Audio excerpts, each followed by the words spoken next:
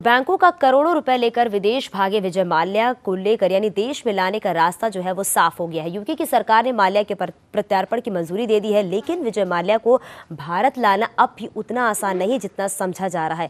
माल्या के पास अपने प्रत्यार्पण पर रोक के लिए अपील करने का अधिकार है और इसके लिए उसके पास अभी भी दो हफ़्ते का वक्त है। हम आपको ये भी बता दें कि विजय माल्या के प्रत्यार्पण की मंजूरी यूके होम सेक्रेटरी ने दी है और विजय माल्या ने भी एक ट्वीट कर साफ़ कर दिया है कि वो प्रत्यार्पण के फैसले के खिलाफ अपील करेंगे। माल्या ने एक ट्वीट में लिखा है कि 10 दिसंबर 2018 को वेस्टमिस्टर कोर्ट के निर्णय के बाद ही मैंने अपील की मंशा ज़ाहिर की थी। होम सेक्रेटरी के निर्णय से पहले मैं अपील की प्रक्रिया की शुरुआत नहीं कर पाया। अब मैं अपील की प्रक्रिया शुरू करूँगा।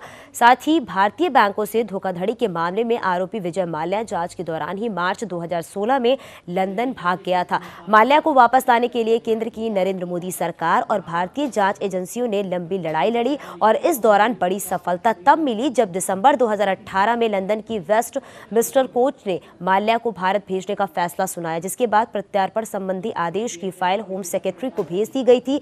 अब होम ऑफ़िस ने भी माल्या के प्रत्यार्पण संबंधी फ़ाइल पर दस्तखत कर दिए हैं, लेकिन माल्या ने साफ़ कर दिया है कि वो अपने प्रत्यार्पण के खिलाफ अपील करेंगे।